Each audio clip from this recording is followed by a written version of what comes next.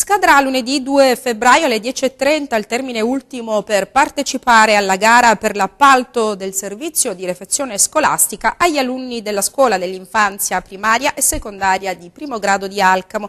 Le sedute si svolgeranno senza soluzione di continuità presso il settore servizi al cittadino, sviluppo economico in via Pia Opera Pastore. L'importo complessivo compreso di IVA è di 455 mila euro circa, prezzo a base d'asta per pasto 3,70 euro 4,70 per gli alunni della scuola di infanzia e primaria e 4,80 euro a pasto per gli alunni della scuola secondaria di primo grado, insegnanti e personale ATA, IVA esclusa.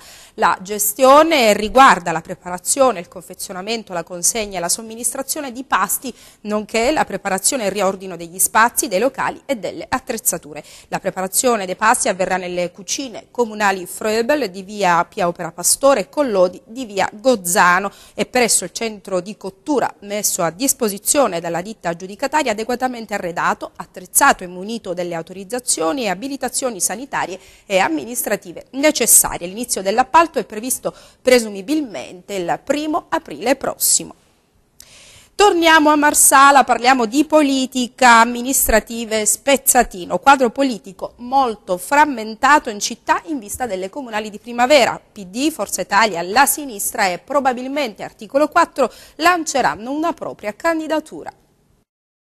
Si ipotizza un quadro politico sempre più frammentario a Marsala in vista delle elezioni amministrative della prossima primavera. Il PD lancerà un proprio candidato sindaco e molto probabilmente farà lo stesso articolo 4 e persino la sinistra andrà per la sua strada. Da ieri anche Forza Italia annuncia una propria candidatura ed ancora non si sono espresse tutte le forze politiche e i movimenti moderati e non che operano in città.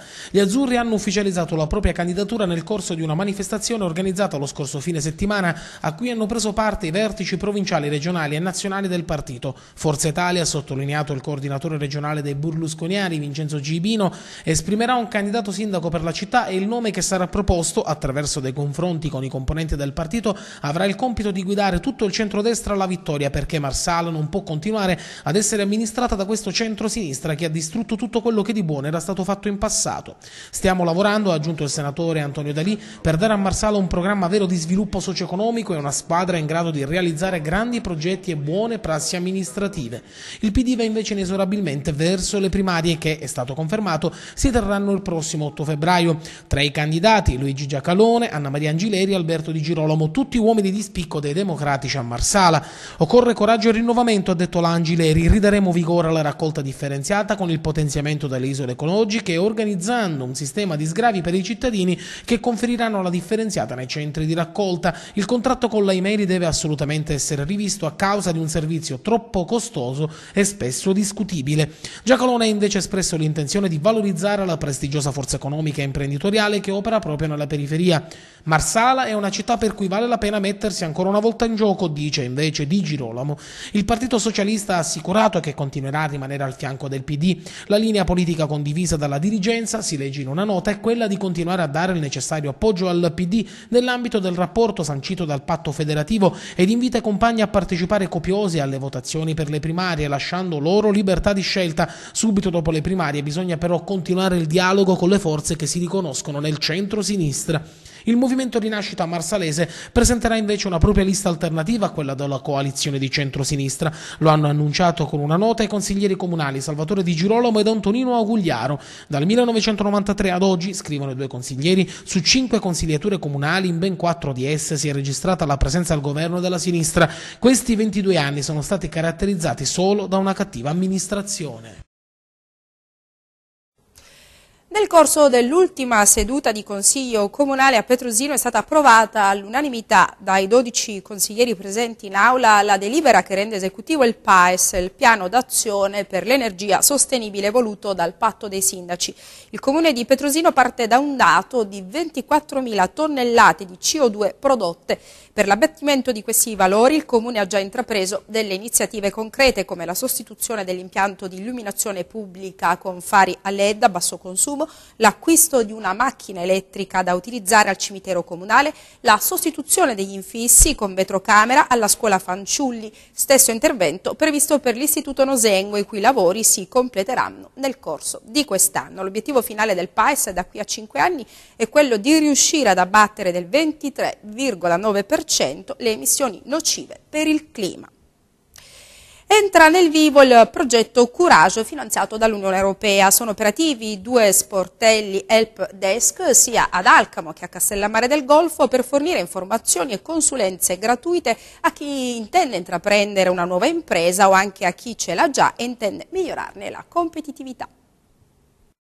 Sono due e già attivi gli sportelli helpdesk creati ad Alcamo e a Castellammare del Golfo nell'ambito delle attività del più ampio progetto Courage coordinato dal Comune di Alcamo. A gestirli due partner di progetto, la Proloco di Castellammare del Golfo e lo stesso Comune di Alcamo. Gli obiettivi principali dello sportello sostenere la creazione di impresa, i giovani e il settore sociale, fornendo consulenza e informazione, un servizio integrato e completamente gratuito. Nato nell'ambito del programma di cooperazione cooperazione transfrontaliera Italia-Tunisia 2007-2013, il progetto Courage realizza una partnership siculo-tunisina coordinata dal Comune di Alcamo, ente capofila, i cui partner siciliani sono l'ASP 9 di Trapani e la Proloco di Castellammare, mentre partner tunisini sono due prestigiose storiche associazioni APEL e UTSS.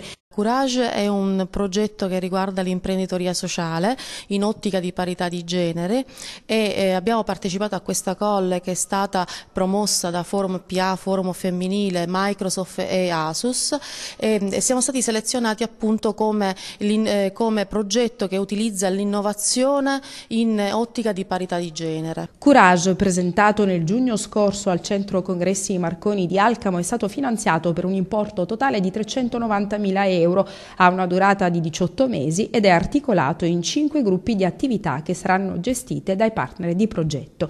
Tra queste attività l'help desk che si rivolge a chi vuole creare impresa ma anche a chi ce l'ha già e ai giovani che intendano immettersi sul mercato del lavoro con una idea imprenditoriale nel settore sociale.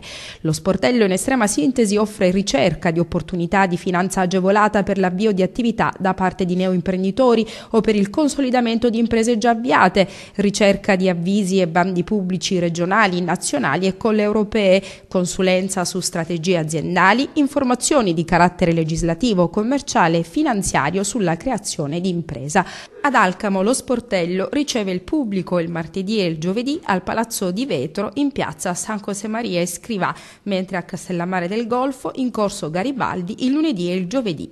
Lo sportello è attivo anche sul web. Collegandosi al portale di progetto è possibile ricevere una consulenza online. Gli esperti rispondono alle email ma anche a quesiti in tempo reale grazie ad un sistema di chat. Inoltre ci si può aggiornare consultando le news che riguardano bandi e avvisi pubblici, normative e leggi che riguardano il mondo dell'imprenditoria sociale e non solo.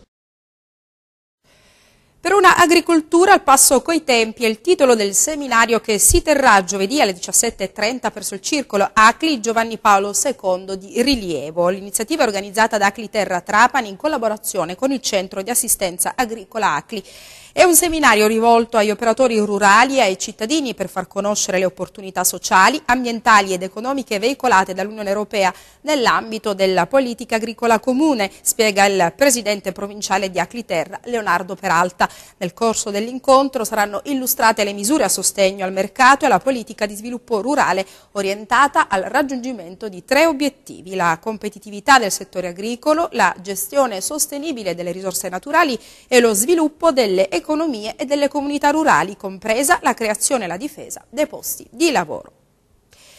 La cantina borbonica di Partinico presto con ingresso a pagamento. L'amministrazione comunale vara un tariffario, previsti anche banchetti e cerimonie. Si arriverà a pagare per l'affitto fino a 300 euro al giorno.